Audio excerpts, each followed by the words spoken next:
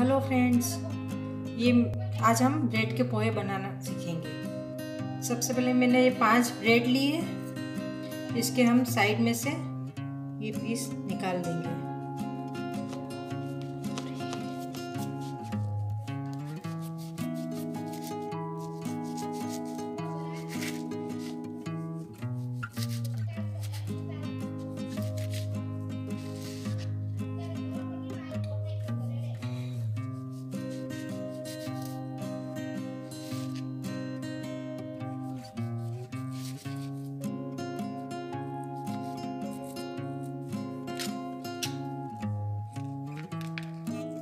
इसी तरह हमने ब्रेड के साइड में से निकाल लिए हैं। ये मैंने पाँचों ब्रेड के सबके साइड में से हटा दिया है। अब इसको हम चूरा कर देंगे बारीक।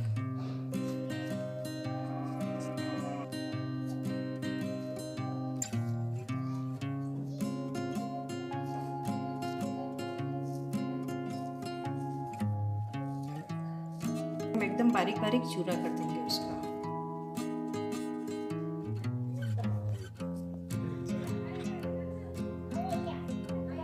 इसी तरह हमने पाँच ब्रेड के सब बिल्कुल बारीक पीसेस कर दिए हैं।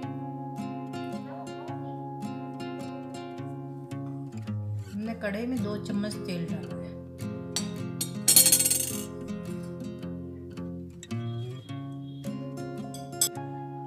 दो हरी मिर्ची, सिंगदाने, धनिया, हल्दी और स्वाद अनुसार नमक। थोड़ी सी राई,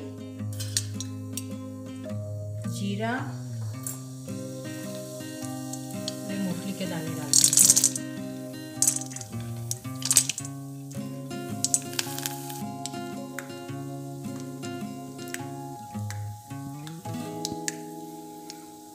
मूंगफली के दाने हल्के से रेड हो जाए तब तक हम तलेंगे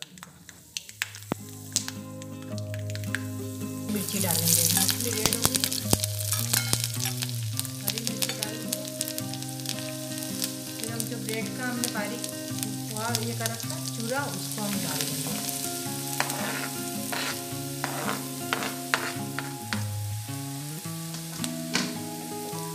गैस की आँच को कम ही रहने देंगे। ब्रेड के पोहे में थोड़ा सा तेल ज़्यादा चाहिए।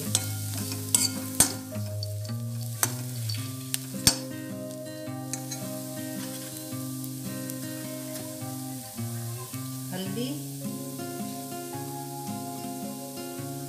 नमक इसमें थोड़ा कम चाहिए।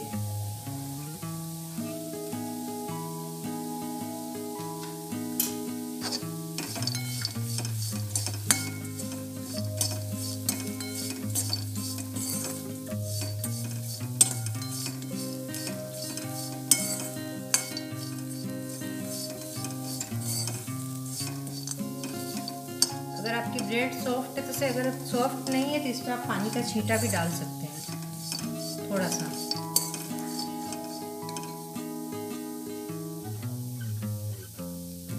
ताज़ा ब्रेड होगी तो पानी का छींटा डालना